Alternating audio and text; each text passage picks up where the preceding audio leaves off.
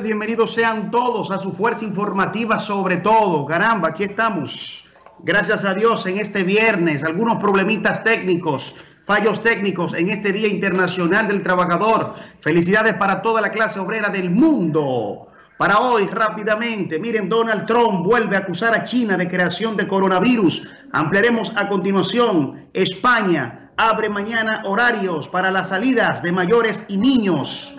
Médicos protestan desnudos por escasez de equipamiento. Esto es en Alemania. En el ámbito nacional, Iglesia Católica bendice desde helicóptero. Salud Pública ofrece el último, los últimos datos sobre coronavirus en el país. Locales para hoy. El gobernador de la provincia Hermanas Mirabal valora que los ciudadanos acaten el llamado a distanciamiento social. Por allá, el hospital de Salcedo continúa atendiendo a los pacientes con síntomas de coronavirus. El gobernador de la provincia de Duarte gana la batalla contra el coronavirus luego de las últimas tres pruebas que se realiza. ¡Qué bueno! Pacientes de COVID-19 continúan recuperándose en el hospital San Vicente de Paul. Empresario Franco Macorizano llama a los ciudadanos a empoderarse para combatir el COVID-19. Sodemu UAS, Recinto San Francisco, rechaza el llamado a la reintegración de labores. Estas noticias y otras serán ampliadas al regreso. Acomódese, ya está en el aire la fuerza informativa, sobre todo.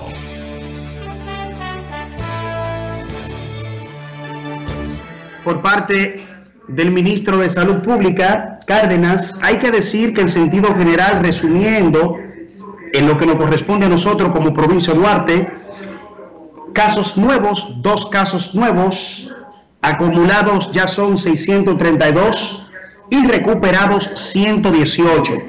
Un dato muy interesante, señores, y ojalá y que esto siga así, es que en los últimos cinco días no se han registrado fallecimientos. Gracias a Dios, se mantienen 76 el número de decesos, de muertes, pero gracias a Dios, y esto es un dato muy interesante, según salud pública, según salud pública, en los últimos cinco días no se han producido muertes en la provincia de Duarte por coronavirus. Bendiciones. A la pausa comercial, al regreso más en esta su fuerza informativa, sobre todo.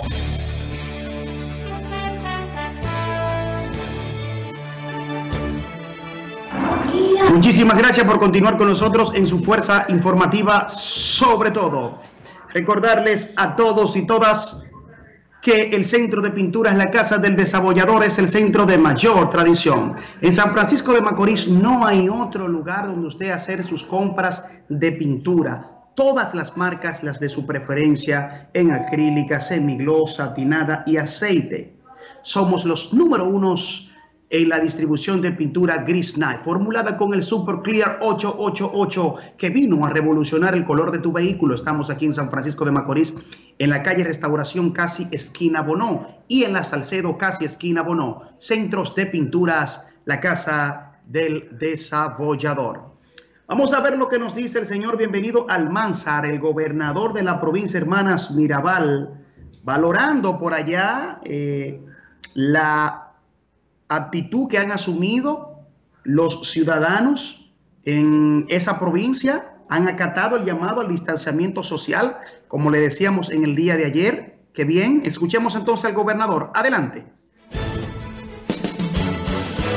Eh, veo importante, sumamente importante, porque me era una preocupación el hecho de que muchos ciudadanos no acataban eh, las órdenes que emanaban del Poder Ejecutivo y que era eh, totalmente a su favor para impedir que fueran contagiados con, esta eh, epidemia del coronavirus.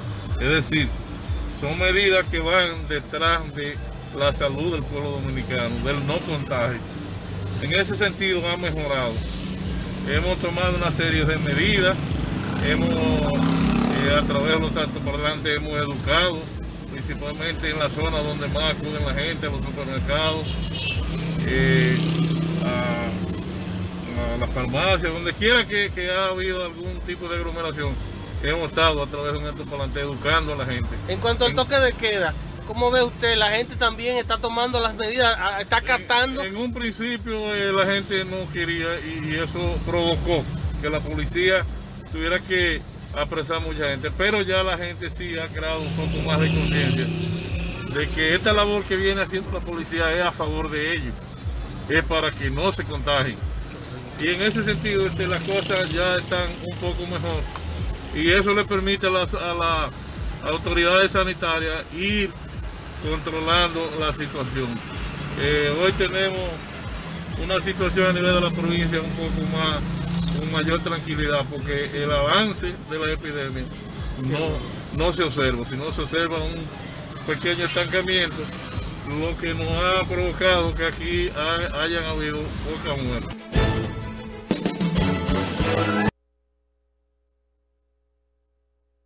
El gobernador de la provincia Hermanas Mirabal, bienvenido al Manzar. Hay que decir entonces que de ser así, los ciudadanos en esta provincia son un ejemplo a seguir en medio de esta situación. El hospital de Salcedo continúa atendiendo a los pacientes con síntomas de COVID-19. Vamos a ver por allá, nuestro corresponsal Yurel también conversó con eh, el doctor Rafael Santos Báez en el hospital Ramón Brache de Salcedo. Adelante.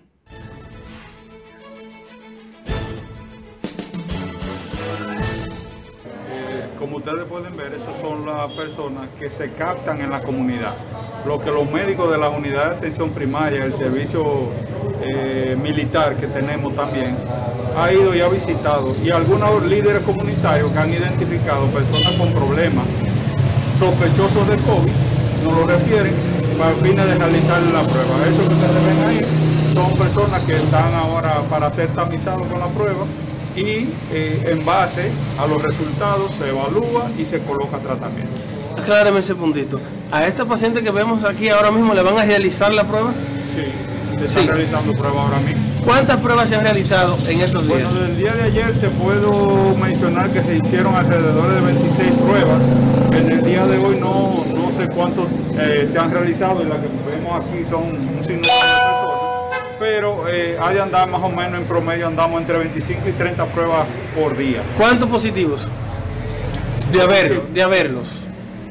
Eh, en el día de ayer tuvimos tres positivos, pero asintomáticos. Asintomáticos. Ok, entonces... No sabemos cómo vamos el día de hoy, pero ya la estadística la tenemos al corte de la tarde, eh, eh, cuando nos vayamos de aquí a eso de las 5 de la tarde. ¿Qué capacidad tiene el centro para recibir pacientes? Alrededor, el centro tiene alrededor de 26 camas disponibles para fines de ingreso y las consultas que están eh, abiertas.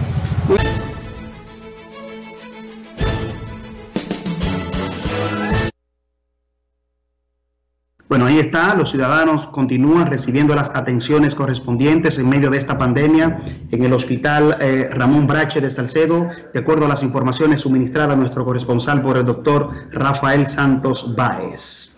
Noticia muy interesante para todos nosotros también es saber que nuestro querido amigo, el gobernador de la provincia de Duarte, Luis Núñez, a pesar de todo lo que ha ocurrido en su familia, eh, caramba, la pérdida de su amada amada esposa, doña María, la pérdida de su inolvidable hermano Nené y también el gobernador se levanta, se ha recuperado y también ha ganado la batalla contra el COVID-19. Escuchemos a Luis Núñez. Adelante.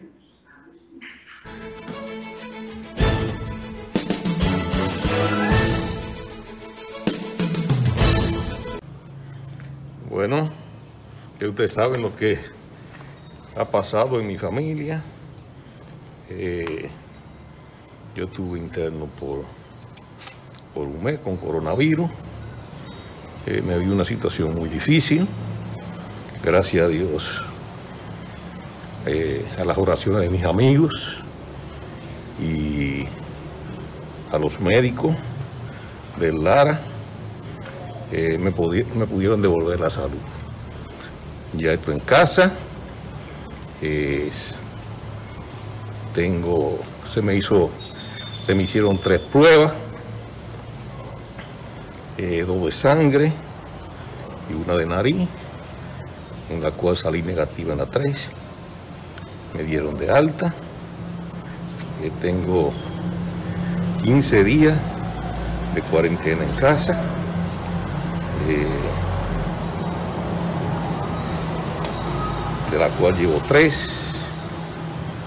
Eh, estamos aquí, iríamos semi trabajando. Pues en el día de ayer ya participé en la primera reunión, eh, diríamos, virtual, donde la preside el Consejo Económico y Social y la Gobernación Provincial en el aislamiento social, porque eso es la garantía que tenemos de que no se multipliquen los casos. Es muy pesar para mucha gente que son pobres, otros que, no son pobres pero que tienen negocio, que tienen esto, y que tienen que hacer una vida, pero hay que entender que, que la vida está por encima de todo. ¿Me entiendes? La vida está por encima de todo. Y si no acatamos las medidas de las autoridades, ¿me entienden? Tanto eh, fundamentalmente de salud pública, lo que vamos a hacer es que nunca vamos a salir de esto. Es un esfuerzo que tenemos que hacer, un esfuerzo que tenemos que hacer entre todos, porque es la garantía de que no se nos saturen nuestros hospitales. Porque si llegamos, si la gente sale a la calle,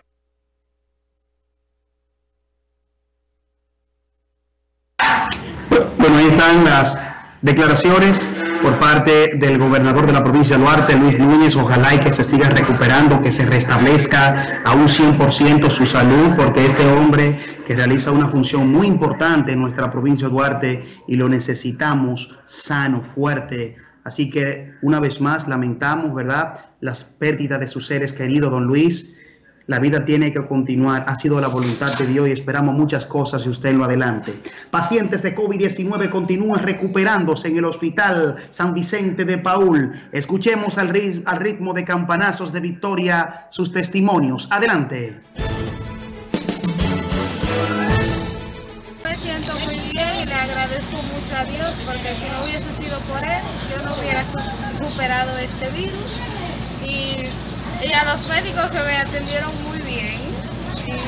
gracias a Dios voy para mi casa. Pues me atendido aquí y yo me siento muy bien. Ya pues me liberado eh.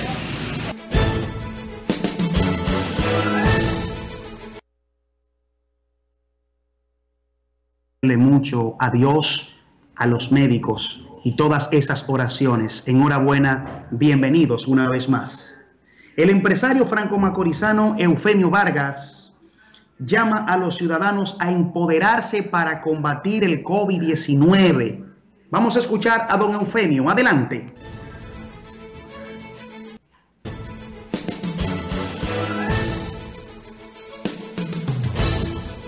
Hola, Vladi.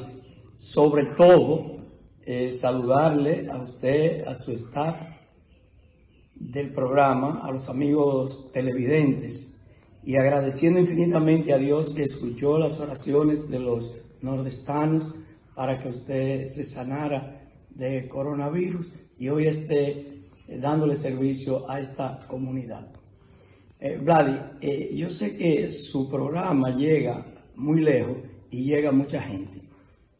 Los franco tenemos que empoderarnos para que esta pandemia baje. Está bajando.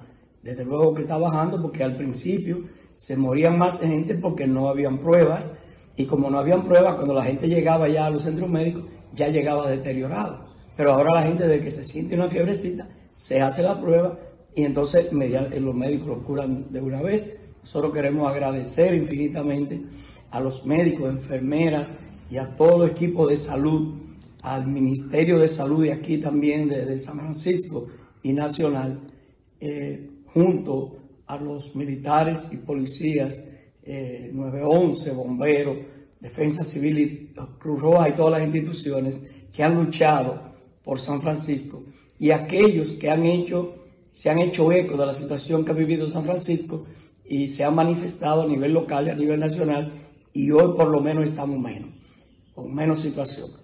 Pero si estamos mejorando, ahora es que nosotros tenemos que empoderarnos y, no hacer filas de cerca a la gente, evitar aglomeraciones evitar provocaciones a las autoridades en el toque de queda, tratar de nosotros convertirnos en agentes promotores de las buenas costumbres que el Ministerio de Salud y las autoridades han ordenado. Por ejemplo, yo me arriesgo, me arriesgo tanto que me atrevo a, a solicitar a las autoridades que por tres semanas consecutivas declaren a San Francisco toque de queda por 24 horas de viernes a lunes, comenzando el viernes a las 6 de la mañana y terminando el lunes a las 6 de la mañana. Sabemos que ya con ese despeje de personas eh, en, en, las calles y haciendo filas y en los supermercados y la cosa, que nadie abra en esos tres días, eh, va a bajar el índice de afectados. Y eso, eso lo necesitamos. Agradecer también a, los medios de comunicación de Telenor que se han hecho eco de la falta de productos eh, de primera necesidad y de uso masivo de que hay en San Francisco o que había, ya está, ha estado llegando paulatinamente, pero ha estado llegando. Y nosotros invitamos también al general de la policía que ha hecho un excelente trabajo de mediador, porque a veces los retenes que ponen en la salida del pueblo eh, comienzan a parar camiones que andan eh, transitando con comida, con mercancía.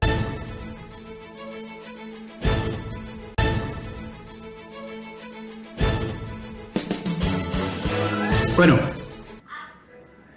bueno, ahí están las declaraciones de Eufemio Vargas, empresario, destacado empresario de San Francisco de Macorís. Así que muy atinadas sus declaraciones, sus consejos. Muy bien. Ahí está Máximo Peralta, quien es el delegado de Asodemus en la UAS Recinto San Francisco. Asodemus rechaza el llamado a la reintegración de las labores en este recinto y en otros, así como la, la Alta Casa en la Santo Domingo. Escuchemos a Máximo Peralta, delegados de Asodemus. Adelante. Bien, debido a esta pandemia de coronavirus que ha arropado el mundo, que le ha tocado a nuestro país y que significativamente ha golpeado a nuestra provincia de Duarte, nosotros entendemos que no están dadas las condiciones para nosotros como empleados universitarios reintegrarnos a nuestras labores. Nosotros entendemos y felicitamos a la vez la directiva nacional de ASODEMU, donde a través de un comunicado manifestó que la salud está ante todo y que cuando existan las condiciones, pues entonces allí estaremos. A la vez queremos solidarizarnos con los compañeros y compañeras que de una manera u otra han perdido sus familiares a consecuencia de este virus. Decirle que pronto pues nos vamos a reencontrar.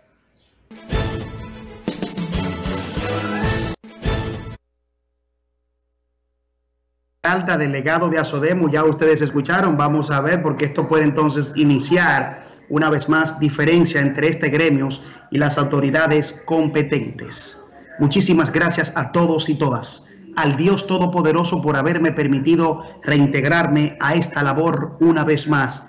Estamos de vuelta, riegue la voz. Bendiciones, si Él lo permite estaremos el próximo lunes a partir de las 12 por este canal 8 porque somos y seguiremos siendo la fuerza informativa, sobre todo.